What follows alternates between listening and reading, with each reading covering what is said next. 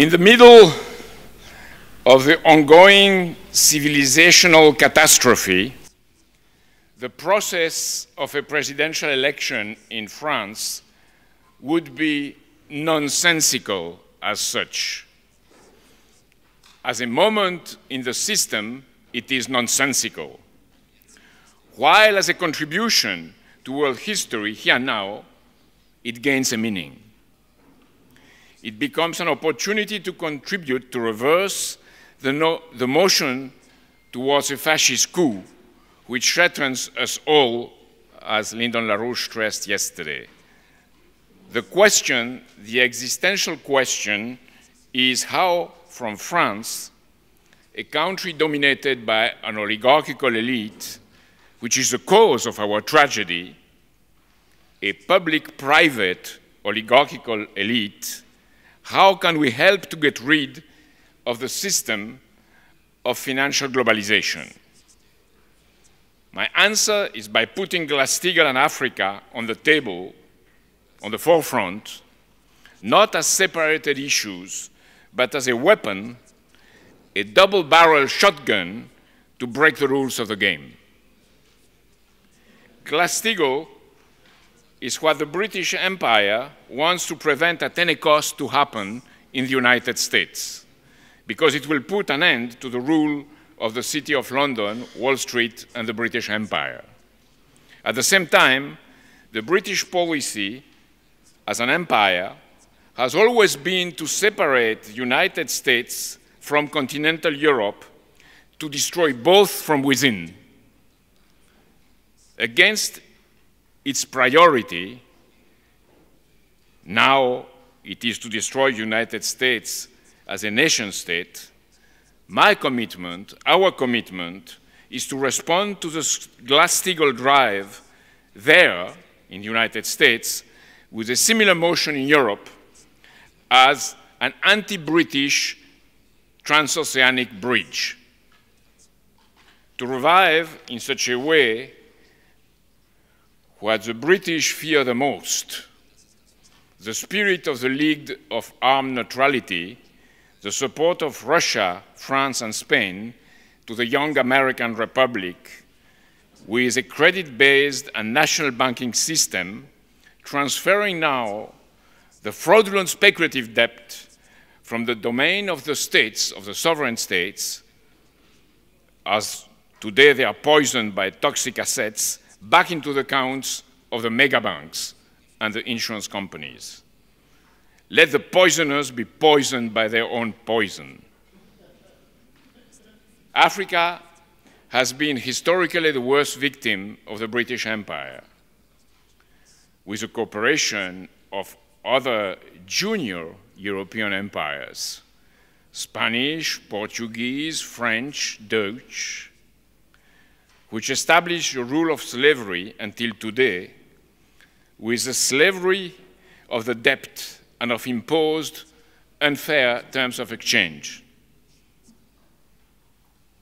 So the key of Glass-Steagall to open the door for a new worldwide platform of productive development, a platform with new technologies, more productive per capita and per square kilometer, a more human identity for mankind should lead necessarily to the rise of Africa as a weapon pointed to the heart of the oligarchy.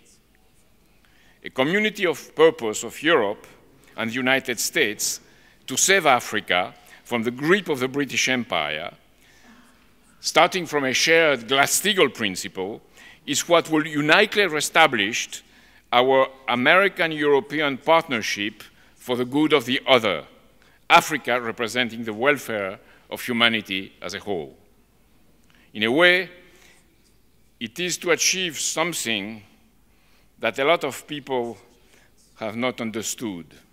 To achieve something today, what I am convinced that Franklin Delano Roosevelt and Charles de Gaulle could have achieved if Roosevelt had not died and de Gaulle been kicked out from power by the pro-British, pro-Truman foreign forces in France, within France.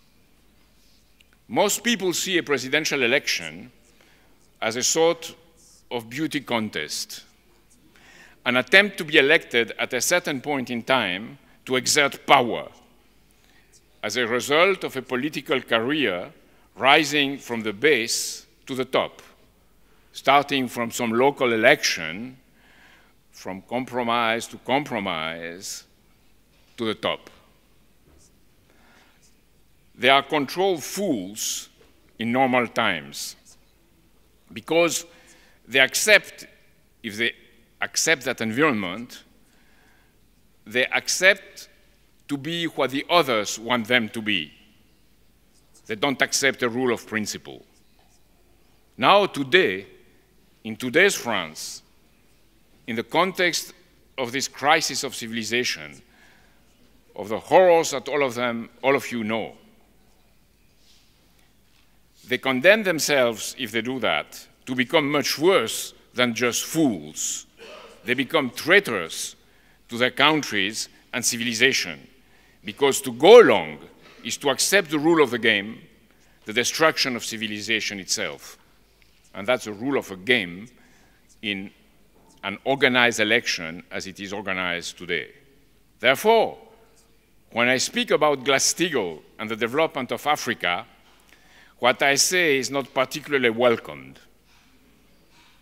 It is not particularly liked by the prevailing principalities and powers in France, who have become the servants of destruction, and is also at first rejected by a majority of a pessimistic public opinion dominated by fears and prejudices induced by those powers that through their control of images and noises, images and noises of the media. Glass-Steagall may be a good choice, but it is incompatible with our principle of universal banking. You cannot put on the table such a concept after 30 years of deregulation. It is just impossible. Africans are not capable to absorb modern technologies. Isn't it obvious? The last 30 years have proved it. It is dangerous to challenge the megabanks. They are too powerful. You are an utopian. We have our habits, and the Africans have theirs. To be a leader against such flying squadrons of impotent crap, you have to be unpopular with the powers that generate them and the public opinion that swallow that crap. Unpopularity is therefore a precondition for a honest honestly helpful presidential campaign. Is it so painful to be unpopular? Yes, you would say at first, if you define your identity through pleasure and pain. Not really, if you identify yourself with the service of truth and ideas, because it makes you feel good when you know that you have put your mission first, your mission to improve before the pleasure to seduce and be liked. And with the rising tide of the mass strike, the indignation of the indignados, a mass strike ferment in Europe, succeeding and interfacing with the mass strike ferment in the United States. People are now reacting to something that they don't like. They experience a passion for justice when confronted to our extremely prevailing injustice. My task as a presidential candidate is neither to please them from under, nor to give them orders from above about what to do, but to provide leadership to try to move their passions towards the truth, to make them discover in themselves their responsibility for the other. More than often, you have to kick them gently in the ass. Or better, induce themselves to kick themselves in their own ass. Hey, look at the world you are in. More than one billion human beings are suffering from hunger, are about to die. There is an increase of 50 million of them each year now, and probably much more in the coming years. And the banks are betting of food as it is was currency. While the producers, and you have seen that yesterday, are destroyed, systematically stifled, as we saw yesterday. Do you want to make a career in such a world? Do you want your sons to make a career in such a world? Do you want your girls to seduce somebody making a career in such a world, or be seduced, or be in a seductive career in a world of corpses? And that's the question today. At that point, if you raise that question, you are not popular. You are not the nice guy around the corner. But as the disintegration of society proceeds, you are trusted. You start to be trusted. Precisely because you have helped raise the human quality of discovery and of reflexive insight in the minds of people, like a good doctor would do. You may not you may not like that good doctor. He or she tells you the truth about your problem, about your disease.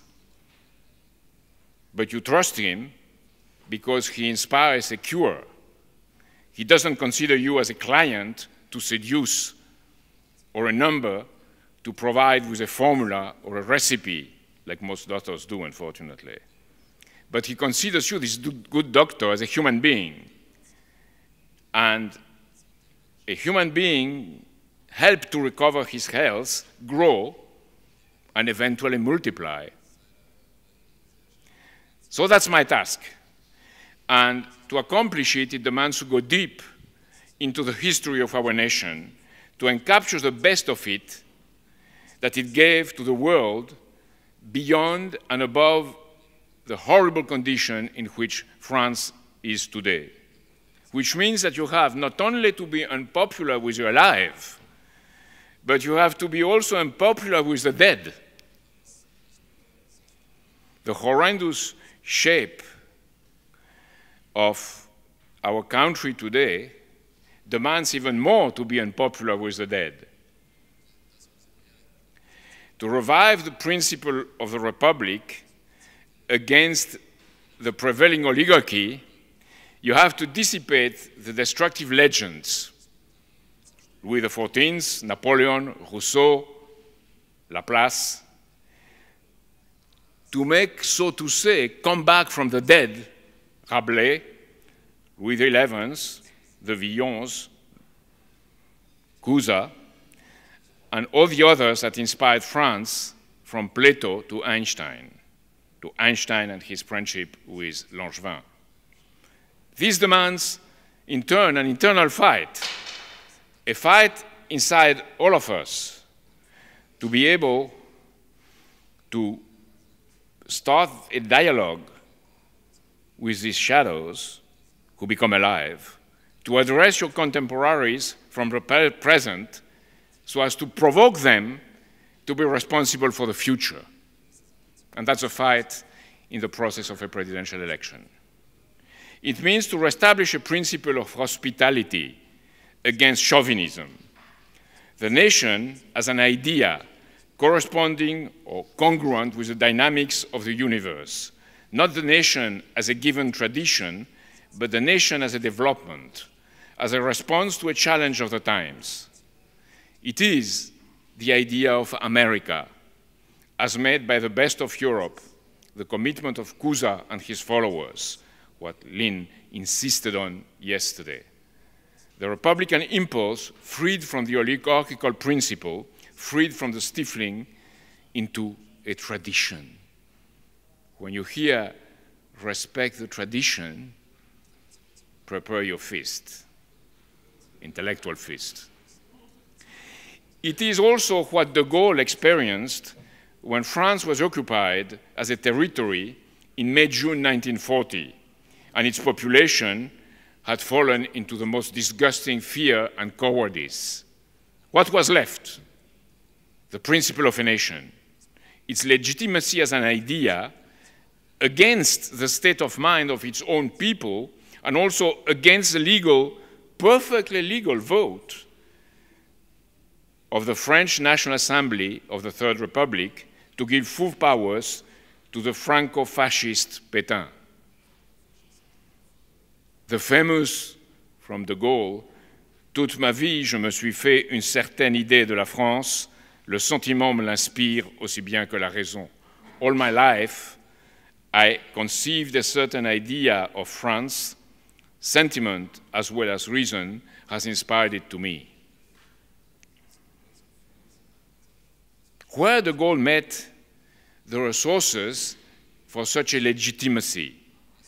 In the genius of France, in the historical uh, genius of a nation, but not as a fixed collection of things or a chaotic population, as it was then and as it is today. On the contrary, as a self evolving idea penetrated and changed by foreign currents, the nation as a reflection of the universe. The nation, not as a thing in itself, the nation finite at a given moment, but unbounded as a universe, unbounded by the mind of the other cultures, like a willful and always perfected human discovery. The nation is a willful and always perfected human discovery. It's not something in some place. Let's listen what de Gaulle had to say about that in a speech given for the 60th anniversary of the Alliance Française, the epitome of so-called French culture. This was in Algiers on October 30, 1943. However, he said, the bright flame of French thought, how could it have risen and maintained its brilliance if inversely it was not for so many elements contributed to it by the mind of other cultures. France, century by century, and until the current tragedy, has succeeded to maintain abroad the influence of his genius. That would have been impossible if France would have lacked the desire or would not have made the effort of being penetrated by foreign currents. In this matter, autarky would rapidly provoke debasement. Undoubtedly, in the artistic, scientific, philosophical order, humanity should not be deprived of the driving force of international emulation, and these high values would not subsist inside the tortured psychology of intellectual nationalism. We have, once and for all, come to the conclusion that it's by free spiritual and moral relationships established among ourselves and with others that our cultural influence can expand to the advantage of all, and inversely, what we are worth can increase.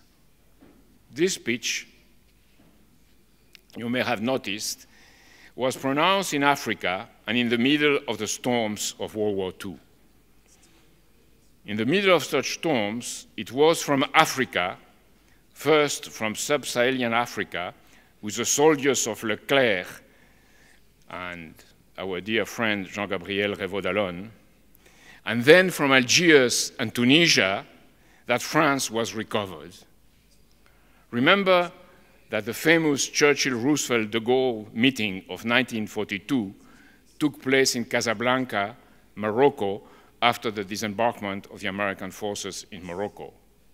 Remember that the Liberation Army that disembarked in southern France in August 15, 1944, was mainly composed of African native soldiers, not Français de souche, as they say today.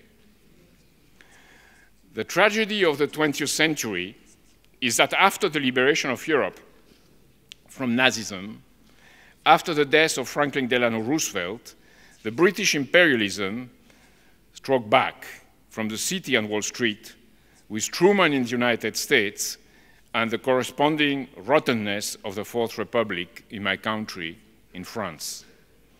This meant for France the revival of the delusion of the French Empire. The First Indochina War, starting from the treason of the Ho Chi Minh-Leclerc 1946 agreement for a progressive independence, and then a set of horrendous and criminal colonial wars that were only put an end to by Mendes France in 1954 as for Indochina, and finally by de Gaulle in 1962 with the Peace of Evian concluded with the liberation movement of Algeria. And if you want to understand France, even today, you have to understand that these colonial wars took place between 1945 and 1962. And that was the time of my youth and what Uh, have been fighting against. But this independence of African states, this hurricane of hope, as Kwame Nkrumah put it, became a hoax under a neo-colonial and financial occupation, corrupting the leaders of the African nations, organizing a new form of indirect submission to the imperial order, a more insidious but more demoralizing and destructive form of oppression through systematic betrayal from within. The equation of General Janssens, the Belgian commander-in-chief of the Congolese public forces, presented on July 5, 1960, which was before independence equals after independence, and that's it. Proved, unfortunately, to be more and more true in terms of the continuation of oppression. So now, in the middle of these days, our days of tragedy and hope, we have our fight for the Glass-Steagall principle, the crucial point at strategic issue, the key for what de Gaulle called le salut, the salvation, to throw the usurers out of the temple as you have seen it mentioned in a recent paper by somebody, a Glass-Steagall principle, first in the United States, and then a world global Glass-Steagall based on issuance of productive credit and not of fake paper based on pounds of human flesh, which is called monetarism. This fight we are in, we are all involved in, is a question of life and death for humanity. And Eric Verhaeghe is going to tell you soon his views on a French Glass-Steagall. Let me nonetheless tell you something crucial, a direct consequence of the question of legitimacy that I mentioned before. Europe, and in particular France, because of its colonial background, have a mission to change their traditional policies towards Africa towards Africa and the Africans, because it is a change which is consubstantial of a same substance with the principle of Glass-Steagall. As we used to say far away and long ago, Africa is a litmus test for the capacity of Europe to join the dynamics of Glass-Steagall and a world-based credit system with fixed parity currencies. The salvation of Africa is consubstantial to the salvation of Europe. And the response of Europe to the Glass-Steagall principle in the United States is in turn consubstantial to the salvation of the world, of a world which is today at the brink of self-destruction. Africa is our mission, and our investment there is a debt due to past generations that we have oppressed to be paid now for the interest of future generations to come. That's the true sense of a debt. as my friend Marcello Vichi put it for the Bonifica Lake Chad project, the units of measure of the costs are not in millions or billions of dollars, but in the absence of wars, the millions of human beings saved from the threat of hunger and benefiting from the means of a life defined by dignity, social peace, and also a recovered international conscience. It is nonetheless necessary, I think, to proceed further into the exploration of what Africa means for us Europeans. It is to recover for ourselves our share of humanity in acting for the benefit of those we have exploited and outraged in the past. To save Africa and the Africans from a terrible death through the increase of their physical power to continue to exist and avoid destruction is for us the path to recover our own principle of humanity as a relatively immortal species. The president of my country, Nicolas Sarkozy, has recently declared that the moment has come to forget about the hatred and the grievances, and that the African man who has been out of universal history should make his comeback. Such a criminal idiocy means to throw a blanket over the crimes of imperialism and colonialism and pretend that we have colonized a space inhabited by ignorant human beings who had remained out of civilization. It, it would mean to forget the evil behind the principle of slavery. My answer is that it is not the moment to forget, but to give a higher political content to the legitimate anger, which is something very different. Our participation to great projects encompassing the common purpose of humanity is our answer to what Sarkozy represents, the voice and feathers of the oligarchy. Marcello Vichi is going to explain soon after me his historical fight for the revival of Lake Chad, the Congo-Chad water transfer, crucial for at least 200 million human beings and for a whole continent. Sometimes, I know, and he told me yesterday, he, he, he gets a bit discouraged. What do you say?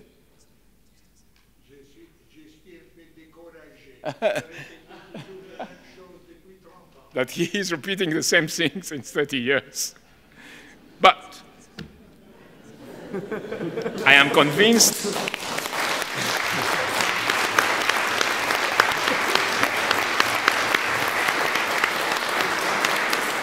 I know people that are repeating things since, so, since much more many years and get all the time more optimistic in the fight.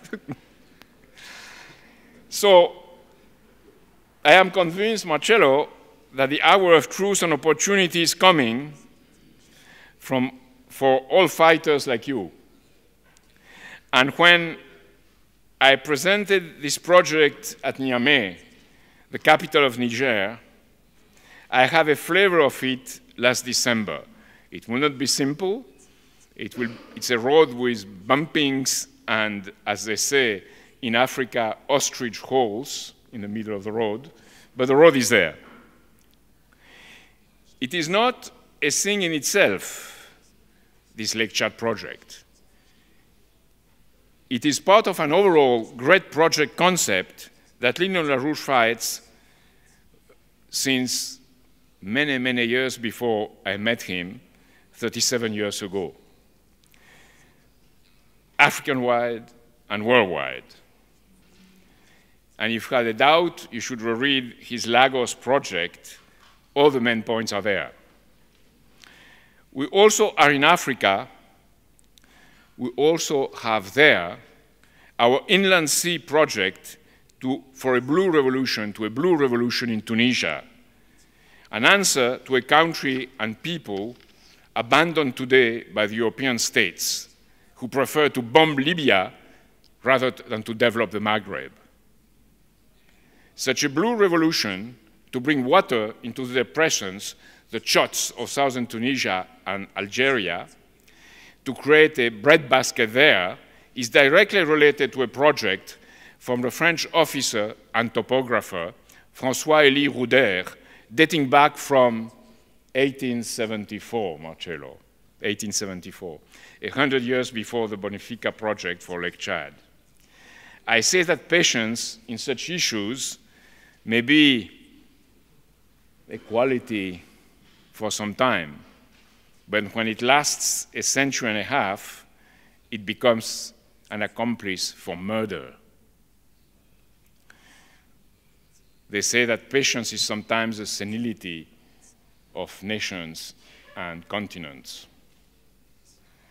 We also have the project of a wall of forests to stop the desert, to plant millions of trees at the south of the Sahara across all Central Africa, a sort of green trail of about 7,600 kilometers.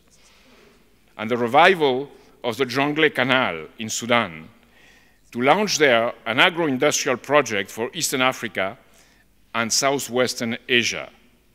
The concept is to give food to the hungry, not to export biofuels and ruin the land.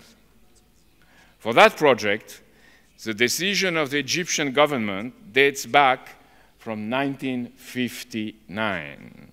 It started in 1978 with a magnificent, beautiful excavator machine which could dig three kilometers in 10 days. Its name was Sarah. It was built in Germany and actioned by the French company Grands Travaux de Marseille, a beautiful example of a meaningful cooperation, not the Sarkozy-Merkel type of cooperation. But everything was stopped in 1984 when the rebels of the Sudan People's Liberation Army start shooting at it. They, shot, they start shooting at Sarah and people around it, and the British sponsoring. And the engineers and workers had to fly away. What is left of it today is a village called Canal in Sudan, with at the extremity of the interrupted canal a garbage mountain where pigs groan near children bathing in dirty waters, and parts of bulldozers here and there, digging devices rotting and abandoned, with even an aero crane which dominates the market, with some soldiers on top of it directing the handies towards the sky to try to reach international network, maybe to take orders. I am telling my French fellows, who are you to accept such a disgrace to continue? Imagine instead around the project soldiers of the Corps of Engineers and workers digging polders, like in the Netherlands, and there are plenty of land around Lake Chad, around the Jonglei Canal, in the Bahr Mandel uh, Depression. There are many, many opportunities for that. Digging polders, planting trees, opening means of communication, the famous Transrapid for Africa. Impossible? Impossible? It is exactly what was said for China 30 years ago. And now we have a more extended network of high-speed trains in the world there, in China. Imagine children going to schools, bilingual schools with a mother tongue Uh, English or French or other language with school books corresponding to the history of their respective countries, with the poetry of their own history, and not books dumped from Europe or the United States, inadequate for Africa, or promoting half crazy, that would be the best, or fully insane pseudo religious beliefs from evangelical and Wahhabite cults or others. Imagine the joy of such children visiting true national museums, giving to them a living sense of the national identity, of the national history and progress, which is not only restricted to the borders of their own country, but which is also Pan African. from the prehistory, when Africa has been the cradle of humanity, contrary to all what Sarkozy has to say. From this moment, where you see the prehistorical tools gathered in the middle of dust in a few museums, to the present moment of history with these developments that we are fighting for, and not museums for tourists or curious visitors, but museums as a cultural basis and platform for a national and Pan-African development. Imagine then women, like it started around a very limited, men are too lazy for that sometimes in Africa. Imagine women, and it's true, it's the children and the women that work the most. Imagine women, like it's starting to happen in villages in Senegal, in the Senegal portion of the forest wall, which has started.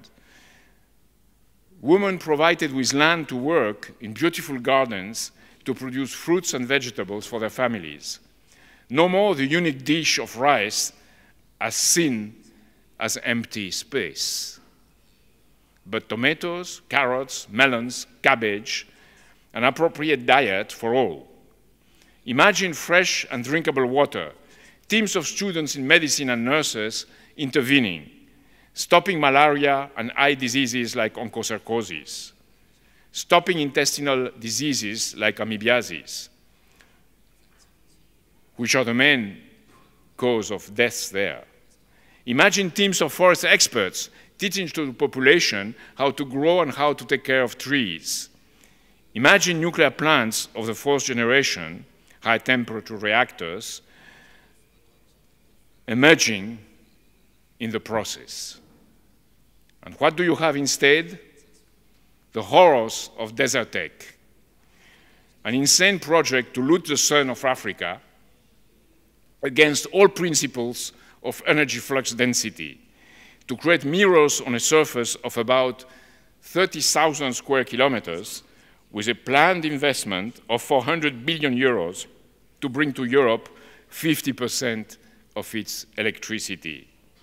The same people who are saying that the Lake Chad project, the Blue Revolution in Tunisia, and the wall forest are too costly, too complicated to achieve, call for Desertec or railway projects to look to uranium, copper, or oil not to develop the hinterland, the contrary of what you have seen yesterday, this joining of the transcontinental railway in the United States, which is what is going to be needed from the uh, north to the south and from the west to the east in Africa.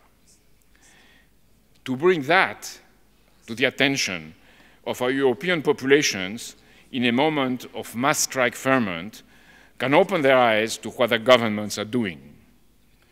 We have to bring to the mass strike ferment as our gift this immediate need of great projects for the good of Africa, and I have put it in the forefront of my presidential campaign. We are already getting support of mayors that we have never met before, from overseas France, for example, from New Caledonia, and my plan is to create a ferment of mayors to put fire under the pants of our politicians.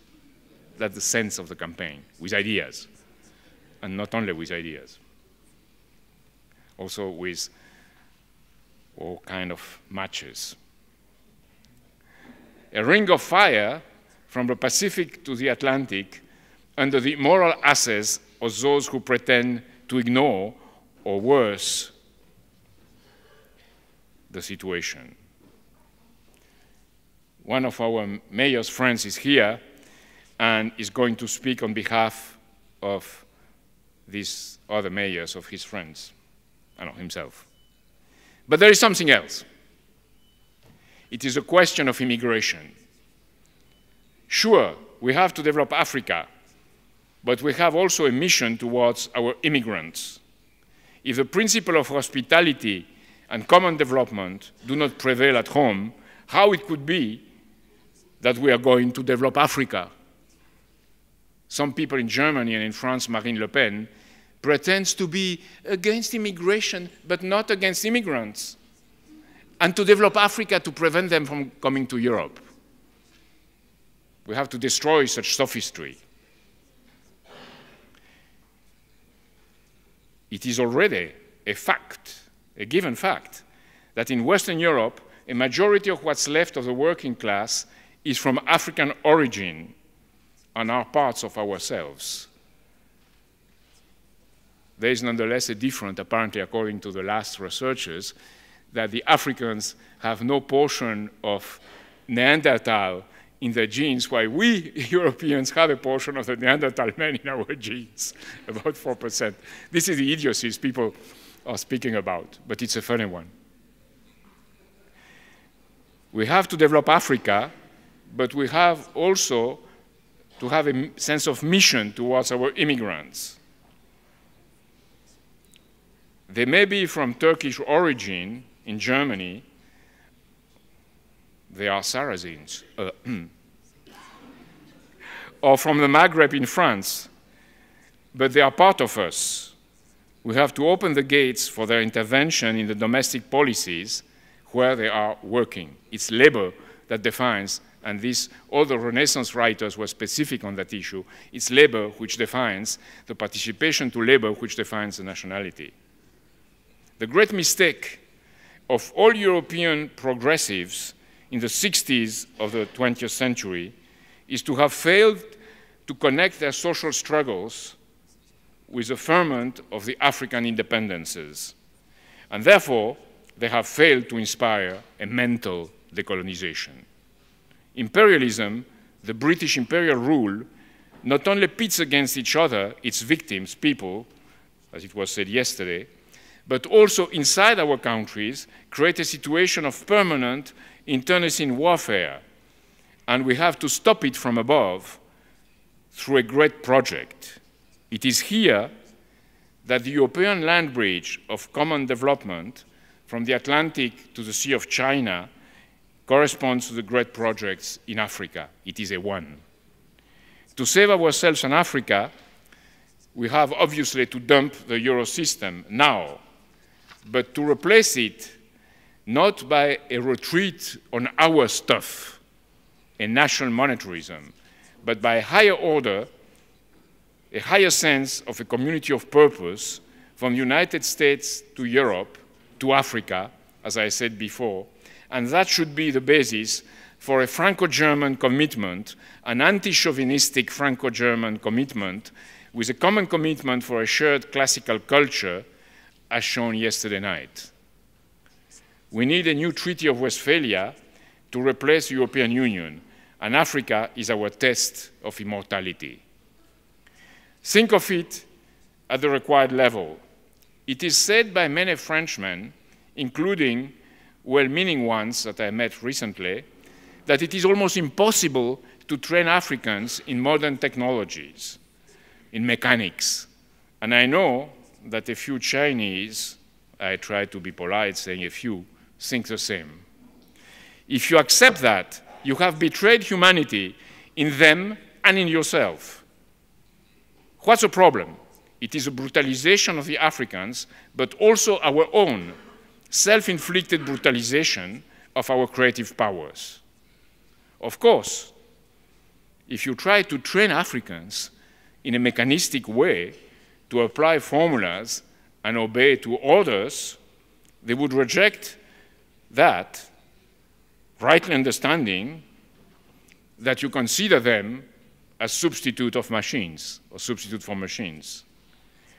To teach to them as to teach to your own population today, to teach to a youth lost in the grip of pleasure and pain, as it was repeated yesterday again, you have to discover inside yourself a spark of mental life first to be able to provide it to the other. There is no spontaneous generation of mental life through habits or know-hows, which doesn't correspond to life. Life, mental life, come always and only from active mental life. And how could we provide it to the other if we have not experienced ourselves. And most places where they teach something today teach not to be creative, to apply formulas instead. The advantage of the other, which is a principle of the Treaty of Westphalia, is based on a shared principle of creative discovery. A platform of development means for Africa and for us a change in the notion of time and of space, an insight in our humanity as a becoming. Public works, great projects, as against the absolutism of space and time. Not only the absolutism of the monarchs of the economy, as Roosevelt said. Cheikh Anta Diop, the great African thinker, rejected in the 60s from any position of power by the failure of the progressive forces to provide leadership, had a sense of this notion of continuity through change and the right for Africa to benefit from all human discoveries, not to fall into the trap of Africanism, the chauvinistic disease in reverse of imperialism, or better say, a weapon of imperialism to maintain Africans in a state of willful submission. Let's hear Cheikh Anta Diop in Civilization or Barbary. One can see then how fundamentally improper is a notion so often repeated of the importation of foreign ideologies in Africa. It stems from a perfect ignorance of the African past, just as modern technologies and science came from Europe and the United States, do did in antiquity universal knowledge stream from the Nile Valley to the rest of the world, particularly to Greece, which would serve then as a link. Consequently, no thought, no ideology is in essence foreign to Africa, which was their birthplace. It is therefore with total liberty that Africans can draw from the common intellectual heritage of humanity, letting themselves be guided only by the notions of utility and efficiency. At the point where we have arrived, I have to raise a last point, who even hurts much more than all the rest, Europeans and Africans alike, usually, according to my experience. But is key in the fight against the oligarchical principle inside ourselves, the question of music. I am tempted to say, it is the music, idiot. because without an insight into the principle, and Lynn is going to talk about that this afternoon, because without an insight into the principle of classical musical composition, the ambiguity of a conflict between two or more voices that only can be solved in the human mind, without that, there could not be creative participation to the great projects as an adventure opening new gates of knowledge for us all. How can you understand the meaning of radiations, sort out those who could be a threat, a mortal threat to life, and those which could be a source of life. How could you that if you have not tuned your mind? Glass-Steagall is a way for human development, and the power for human development is based on what classical art brings not on the tip of the tongue, but on the top of the mind. And there we have a key challenge. As the Bushes, and I must add the Kerrys and others, in the Skull and Bones Club, as they have brought the skull of Geronimo to encapture magically the power of wilderness for the oligarchy, and Theodore Roosevelt was the epitome of that, we have adopted as a social entertainment a noise which destroys us, a noise that we pretend is African music, but is in fact nothing than an escape from despair or a propitiation of despair at this point. And viciously, bending in front of the oligarchy, we have socially adopted it as a way of life.